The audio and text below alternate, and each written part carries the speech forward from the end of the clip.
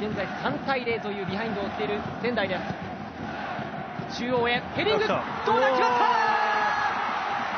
ホームの仙台が先制点。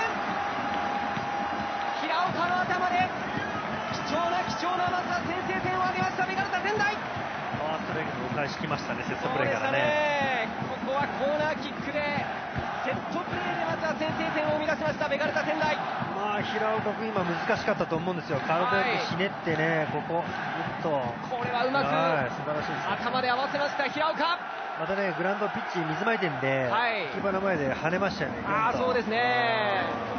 素晴らしいゴールに入る手前でワンバウンドして見事ゴールへ吸い込まれていきました。